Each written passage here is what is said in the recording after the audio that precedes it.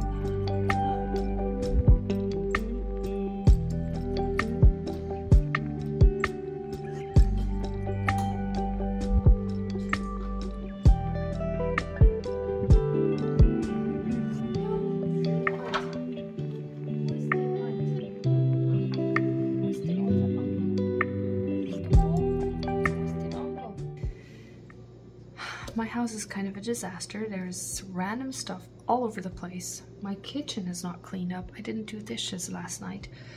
I need to empty the dishwasher. I have some laundry that needs to be folded. I just finished my devotion, but I need to finish um, catch up on my diary. I haven't been writing in my diary for probably almost a week, so I need to catch up on that. There is something that I really have to do while Jeremiah is napping. I just put him down for his nap, so and I have to get that done before he's up because he's cruising all over the place and I'll show you what it is in a little bit but I'm gonna finish my diary here and then maybe clean up the house a little bit because it drives me crazy. I really have to finish that before he's up. So let's see if I have a good enough memory to think back what I was what I did a week ago. I don't know if I can think back that much but I will try. Okay I just have to clean up the house before I start anything else. So I'm gonna try and see if I can do it in 15 minutes or you know what? Let's go for 15 minutes, see if I can clean everything up and make it look a little bit more tidy in 15 minutes.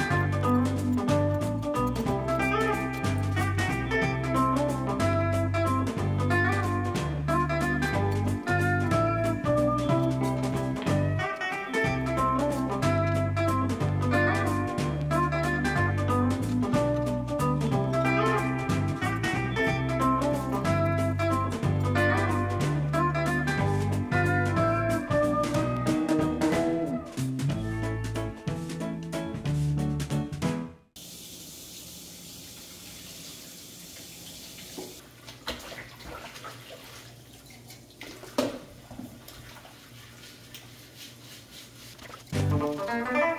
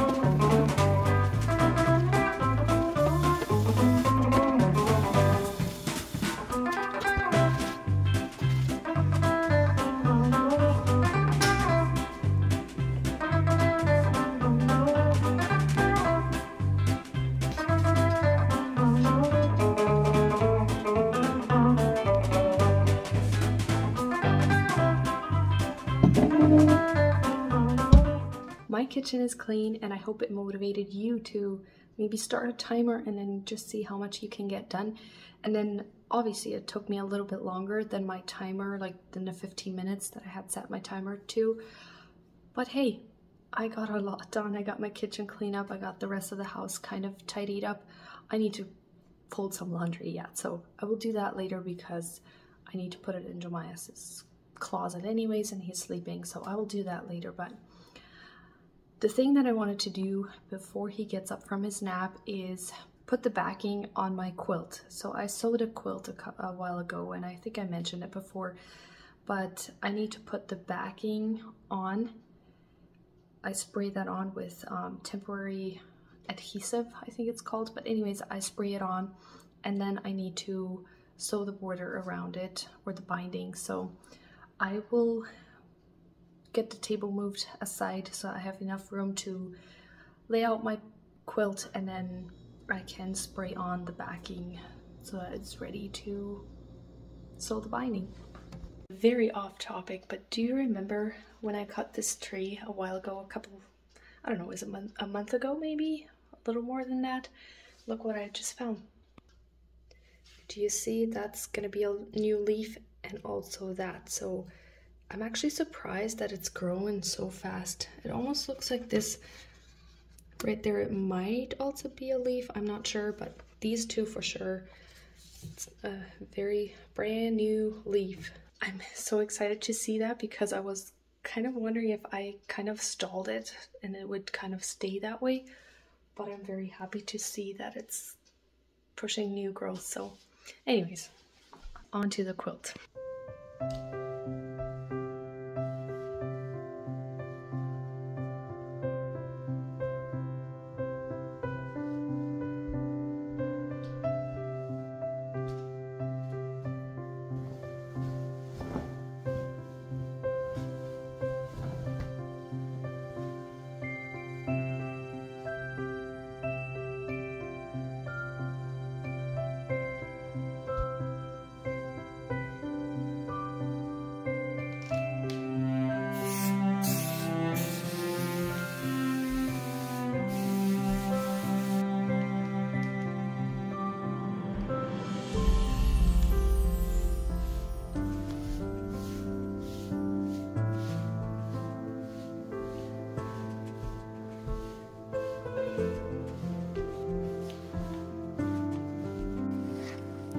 Who's up. This little guy. At least I finished like with the backing, but I needed to trim the edges yet, so my blanket is right there. oh well. We're gonna try and finish that.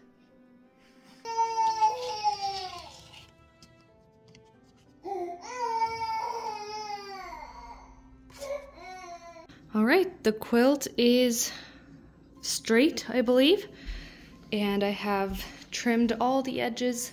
So I think it's ready for the binding, and then I still have to draw something on top and make sure everybody knows how to quilt them at Sewing Circle, but I don't know the pattern yet. I don't know what I want for the pattern for quilting, so I guess I'll find something out later, but at least this is ready and I can put this little guy back on the floor. He did not really enjoy sitting there.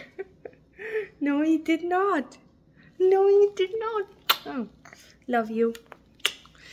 Anyways, I'm gonna get some lunch. It's around 12. Actually, it's 15 past 12 already. So anyways, I'm gonna have some lunch with him and hopefully finish it today, hopefully.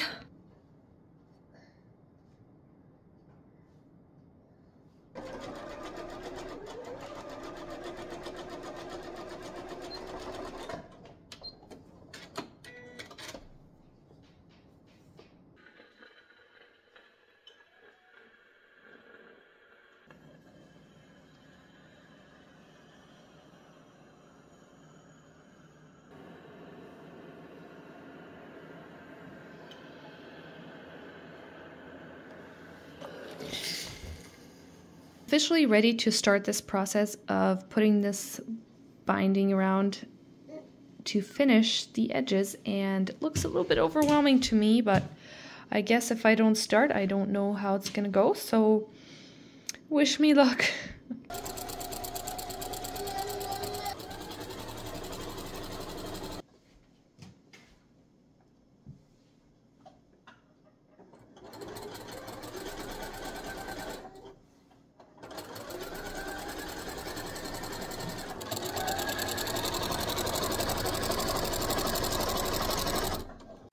go for a walk. This little guy is quite fussy, so we're gonna go for a walk. It's actually pretty nice out today. And do you remember how much snow we had like in our driveway? I'm gonna show you. This is what is left of the snow in our driveway. I'm so excited that so much snow has melted already. So we don't have much snow left. Look, my flower bed. I'm so excited to plant some flowers there. I'm probably gonna redesign it a little bit. And then there's also flower beds here that I'm really excited about. There is something coming up right there. I don't know if you can tell. I don't know if they had anything in here, like perennial type of stuff, but we're gonna find out.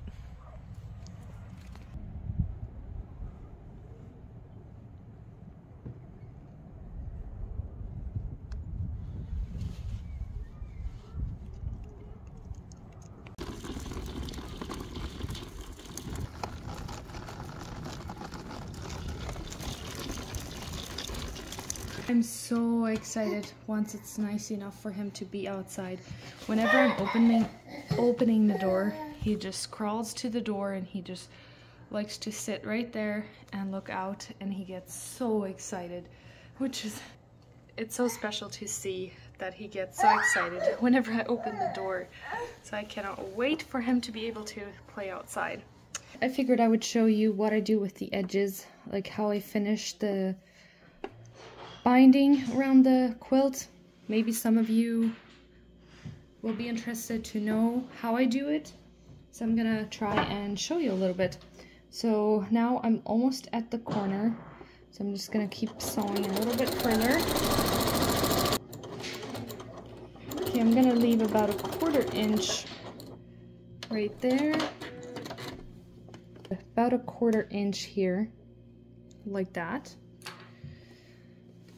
So I'm just gonna turn it around and then pull this back like that and fold it over like that. That way I have a really nice corner whenever I fold it over because later on I fold it over like that and sew the other side. Does that make sense? Anyways, that makes it a very finished, nice corner. So I'm just gonna finish this here. As you can tell, the bottom one got shifted a little bit, so it's a little bit too long. So I will cut that later before I fold it over and finish it completely. But I'm just gonna finish this here.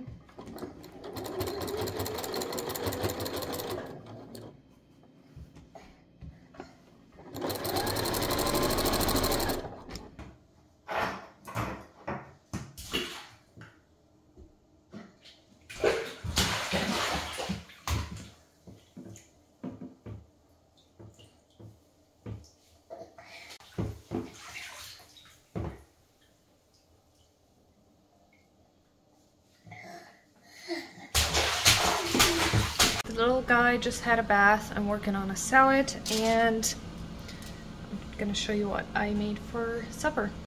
Editing me here. Um, I thought I took a video clip of the supper that I made, but apparently I didn't record while I was talking to my phone, so basically what I had done for supper was I seared the pork chops that I bought a while ago at Costco. I had seared them on both sides in butter and some seasonings. I think I had seasoning salt and then um, some kind of steak seasoning. So I seared them on both sides and then I put them in a glass pan and then I baked them for about an hour and they were really good. So, and then I had a salad and some fries. So just so you know what I had for supper, because I can't show you because I didn't take a video, apparently. While supper, while supper is in the oven, I'm gonna finish the blanket or see if I am able to finish it. And I'm gonna try and show you how I finish the binding. See, I'm no expert in quilting. I learned a little bit from my mother-in-law. But the reason you saw me uh, sewing together the binding because obviously I would never have a long enough piece to go all around it. So I had cut multiple pieces and then as you saw I sewed them like I laid them like kind of across each other and sew them together and the reason for that is so that I don't have a very thick um, double layer sewn together on the edge. I don't know if, I don't know how to explain it. So this is where I have the seam. I don't know if you can tell. It's right there. And then you can kind of tell, if I hold it against the light, that in the back the seam goes, like it's kind of a an triangle shape because if I open it up, this is what it looks like. It's at an angle, I think it's a 45 degree angle. And then and whenever I fold it, that puts the seam in a different place so that I don't have the seam straight because it would be kind of bulky right here, if that makes sense. So it works really well and you can barely tell that it's sewn together. So because I have to do the same thing once I've sewn it together, like this is where I started and I'm almost finished, so I need to do the same thing once I am very close to this part here. And that is always a little bit tricky to me. I don't know if I will be able to do it for the first time because I have to do the same thing. I lay it across each other and sew at an angle and then I have the same results as I have whenever I sewed these together and then I can finish it very nicely and you can't tell where I started and where I finished if that makes sense where I had sewn it together but oh well I don't think you will be able to tell. Okay. So now to figure out which way I'm gonna sew over it. I think that way. I'm gonna try it because I can always take it out if that's not the right angle because I could sew over it two ways and I'm not sure which one is the right one way but I'm gonna find out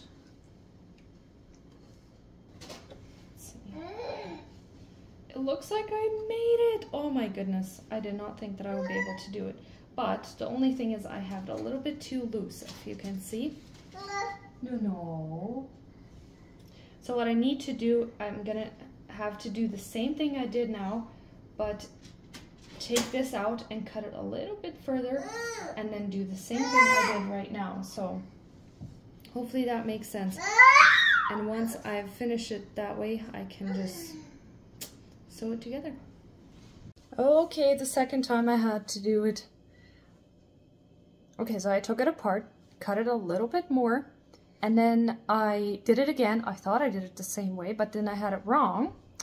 And I did it again. So now it is perfect. As you can tell, it is the right length. I can just sew this and then it's completely finished all the way around and then I just fold it around and do one more time around the edge and it's done.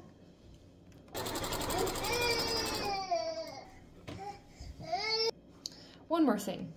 If you are not familiar with this walking foot, like as you can tell I have a different piece on here most sewing machines have it like it comes with it when you buy a sewing machine and if you want to sew anything that's a little bit thicker like than two layers it's really nice to have the walking foot because it's designed to help you push the fabric through and that helps to prevent it from shifting too much if that makes sense so yeah just thought I'd mention that why I have the walking foot on here and a lot of you who might be professional quilters, you might laugh a little bit, but that's okay. I'm no professional. This was actually my very first big quilt that I made. I made baby blankets before, but not a big quilt. And I actually kind of enjoyed it, but at the same time it was also challenging because it was something that I never did before and I'm so glad I did because I learned so much and I'm just very happy that I'm almost done with it at this point so but I think I will let you go because Johnny will probably be home any minute now. Thank you for joining me on my very normal day at home. Um, I'm obviously I'm not working on a quilt every single day but just doing what I do. So a lot of you said that you enjoy if I just film days in the life and that's what I decided to do. So so I don't know if you prefer a little bit longer videos or a little shorter, 10-ish minutes or 20 minutes. I don't know what you prefer.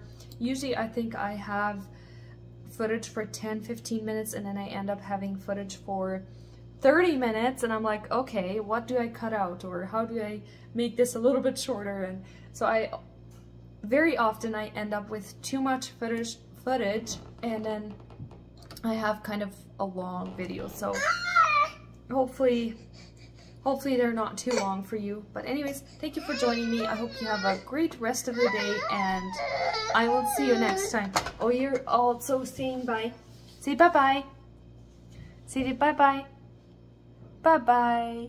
Yeah, bye-bye.